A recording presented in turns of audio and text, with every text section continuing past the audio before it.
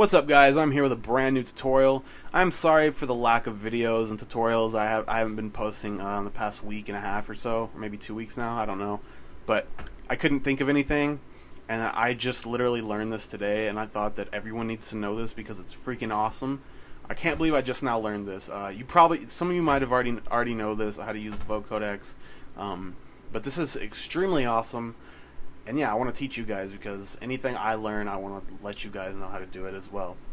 So, the first, I'm going to make this a two-part video. The first video will be more synth heavy, and the second one will be uh, bass. So, we're going to go ahead and need a vocal clip, or you can use anything really, but vocal is usually what people use for vocoders, but it doesn't matter. Like I said, um, you can experiment with this like I did. I experimented on a ton of stuff, so it's pretty fun to mess with, by the way.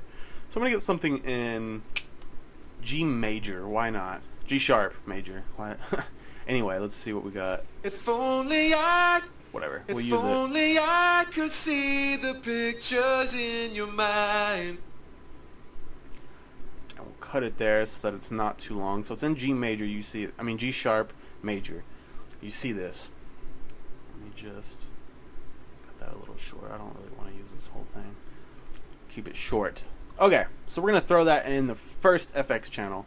Um, and before I keep going, I want to let you guys know we're going to be using three channels. We're going to split this up in three different channels. And the first one is always going to want to be your vocal or whatever you're going to want to basically modulate the uh, or manipulate, modulate the bass or synth with. So in this case, for me, it's going to be this vocal. And we're going to put it, it's going to need to be in the first of the three. So you have a three span, it's going to be number one. Or say you have a three span over here, 36, 37, 38, it's going to need to be 36. You get what I'm saying? Okay, it doesn't need any FX yet, but go ahead and direct, like link it to the third channel, which is going to be the channel with your vocoder on it, but we'll get into that in a second. And unlink it from the master. Okay? So next, we're going to need a synth. So go ahead and open up your favorite synth. I'm going to go ahead and open up Massive because I just love Massive. I'm going to detach it because my screen is tiny. And I'm going to open up a synth. It doesn't matter what synth it um, seems to work better with um, saw waves, square waves, like the more bright, if you will, synths rather than a sine wave or something. Um, but I'll mess around with it and I'll show you guys make sure my voice, my, uh, on polyphone. Okay. Alright, everything looks good. Let's turn these off. Alright. So, mine's pretty much as simple. It might as well just be file new, you know? It doesn't really matter. You know, I'm going to file new it. It doesn't even matter. So here we go. File new, brand new massive patch. You guys can do this too. And I'm going to make something that's not in G sharp, a chord. A chord progression, I guess. Not G sharp. So all I got to do is avoid G sharp, which is the third, the middle of these three black keys. Always remember that.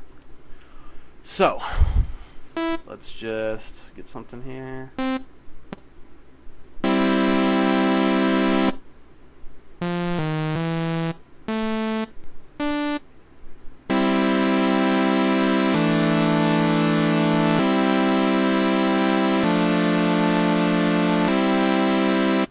Works for me. Does that work for you guys? Okay, cool. Go ahead and add that to the second one in your line of three, pretty much.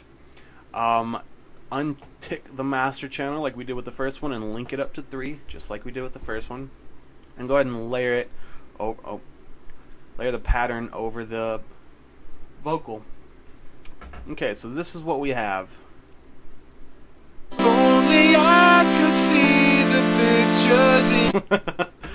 and that is not in key at all, so that makes this all the more better.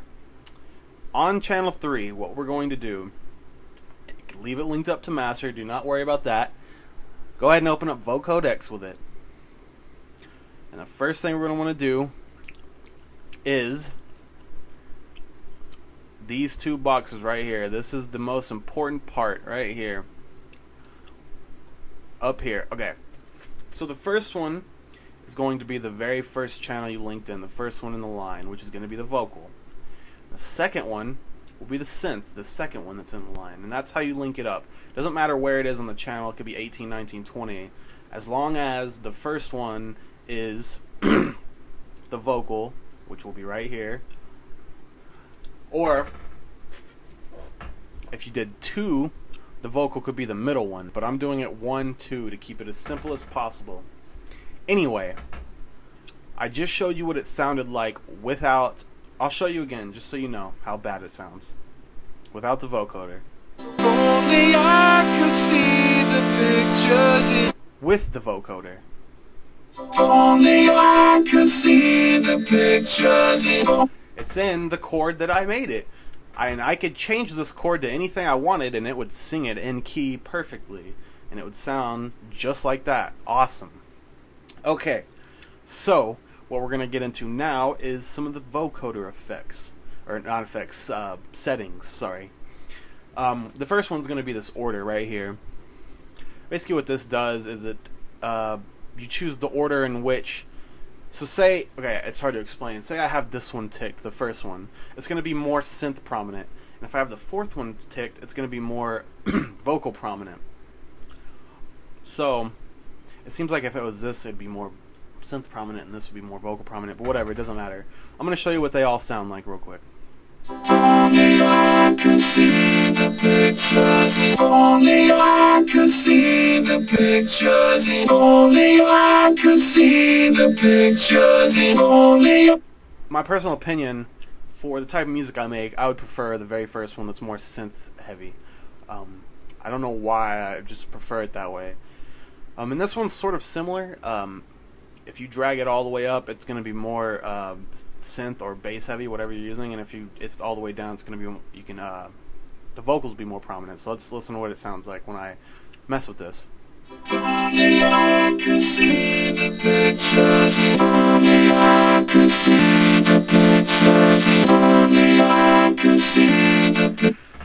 So yeah, that's the bandwidth, um, and I prefer to keep it around this area or maybe a little bit over. Never all the way usually. Um, just depends on what I'm making or messing with.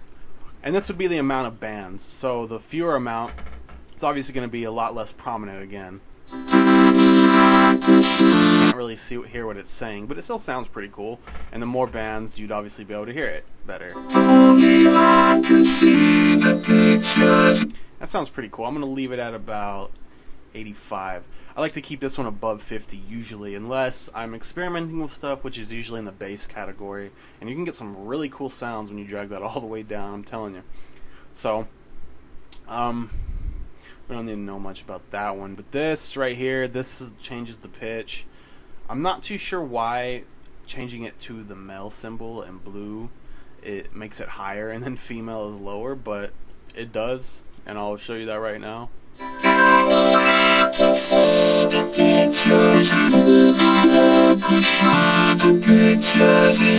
I don't know if there's some kind of technical reasoning behind that. Um, I don't know if you guys noticed, but I'm not big on technical terms. I don't know a lot about that. I learn by messing with stuff and watching other people, and just I just learn from experience pretty much. I don't learn from reading books and all that type of stuff, knowing technical terms. I mean, I pick some up along the way, and they they usually sometimes they stick, but I have to be doing it for a while for them to stick. I didn't learn what oscillator like I didn't learn the word oscillator for like the longest time. I just always said OSC, and now I'm I mean oscillators one of the main words in my vocabulary now. but there's a lot of things you can do with vocodex. There's there's tons of other things. You don't have to just use a synth and a vocal. I mean, you could link up some kind of weird texture sound link it up with a bass. And I'll be messing with that in the next video I make since I'm making this a two-part video. But I'm gonna go ahead and conclude this video right now. I'm gonna say thank you for watching, guys. Um, go ahead and follow me on Twitter. I've been a lot more active on that lately. Uh, I'll put the link in the description, but it's Thrilla Official, pretty easy. Thrilla Official. and uh, subscribe if you're new to here, new to this video um, channel, new to this video, new to here. Come on, Cody. Um, yeah, subscribe, and I want to get a lot more like active with you guys. Uh, so follow me on Twitter. I'll give you a follow back. Just uh, tweet me, telling me you watch my video or something, and I will follow you back. And if you ever need help, I'll I'm more than welcome. I'm usually free during the days, and sometimes, um, well, various times during the days. Sorry. if I if I check my Twitter and I see that you've tweeted me, I will not wait a long time and tweet you back. I'll tweet you right then and see what's up. But yeah, I thank you guys for watching and um, subscribe. Go follow me on Twitter and like my Facebook page, which is also Thrilla Official, and my SoundCloud is Thrilla. So why not give all my social media links out? and I'm gonna conclude this video with me just sort of playing around with some of the other effects, and you can see if you like it. I'm not gonna talk anymore though. So thanks for watching, guys.